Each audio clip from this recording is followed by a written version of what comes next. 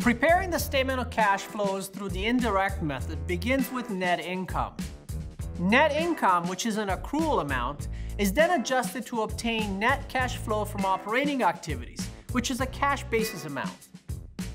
Adjustments, whether additions or subtractions, are necessary for each item on the income statement that does not, wholly or partially, represent a cash item.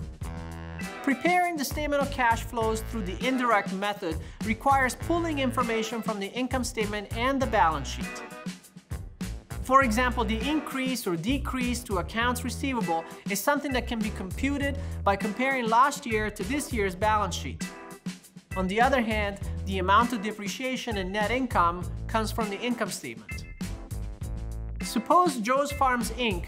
needs to prepare its statement of cash flows using the balance sheet and the income statement. Using the indirect method to prepare the statement of cash flows, the company starts with the $11,000 figure for net income. It will then adjust for depreciation expense of $8,000, the increase in accounts receivable of $13,000, the increase in inventory of $10,000, and the increase in accounts payables of $5,000.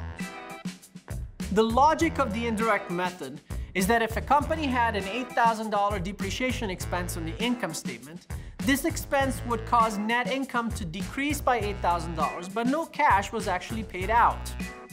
Therefore, the indirect method would add back $8,000 to net income in order to arrive at cash flows from operating activities.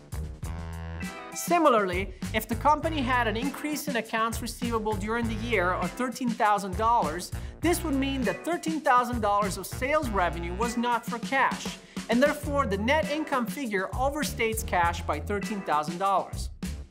In that case, we will subtract $13,000 from the net income to arrive at cash flows from operating activities. After determining the net cash flow from operating activities, the next step is to obtain cash flows from investing activities. This process is the same for both the indirect and the direct methods of preparing the statement of cash flows. Investing activities often include free cash flow, which is the discretionary cash flow amount available for purchasing additional investments, retiring debt, or increasing company liquidity. Investing cash inflows for this section include cash from the sale of property, plant, and equipment, cash from the sale of debt or equity securities of other entities, and cash from the collection of principal on loans to other entities. Investing cash outflows for this section include cash used to purchase property, plant, and equipment, cash used to purchase debt or equity securities of other entities, and cash used to make loans to other entities. For this specific company, the only investing activity in this period was $5,000 of cash spent to purchase a building. Financing activities are determined next and generally include cash changes in long-term liability and equity items. Financing cash inflows for this section include cash from the sale of equity securities and cash from the issuance of debt, such as notes and bonds. Financing cash outflows for this section include cash paid to stockholders in the form of dividends and cash used to redeem long-term debt or reacquire stock.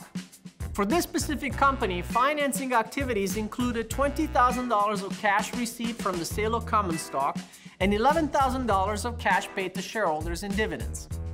After determining the three cash flow activity sections, operating, investing, and financing, the amounts are summed. The net cash change amount over the year was $5,000, which agrees with the difference between the 2020 and 2021 cash balance from the balance sheet.